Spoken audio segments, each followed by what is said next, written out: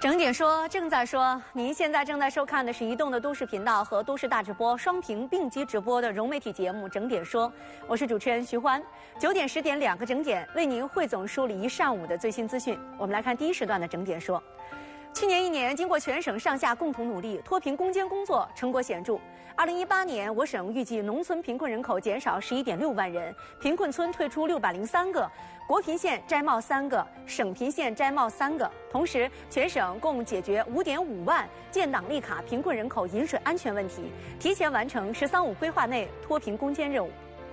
日前，省应急管理厅冬春安全整治大会战办公室组成六个名都暗查组，分别由公安、教育、民政、交通、应急、卫健委等六个省直部门厅级领导带队，对各地开展了名都暗查。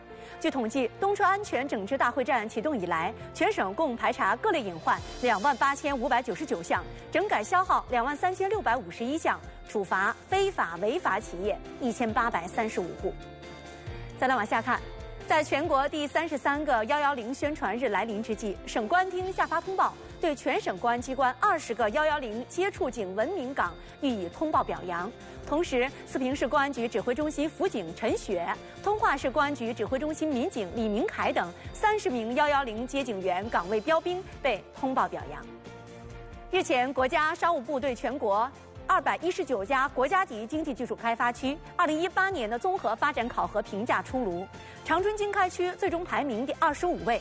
据了解，此次参与考核的二百一十九家国家经济开发区当中，前三十名里，东部沿海地区占据二十一名，中部四名，西部两名，东北三名。东北地区进入前三十名的哈尔滨经开区和沈阳经开区都和城区合并。好了，以上就是此时段内容。扫描屏幕下方二维码，关注都市频道官方微信，各种活动福利不停，欢迎您的参与。容天下整点说，十点继续和您相遇。这段说到这儿，下面进入到今天的爸妈的朋友圈。今天海玲将和您聊一聊，现在网络上流传和转发的消息到底是真还是假？把时间交给海玲。嗯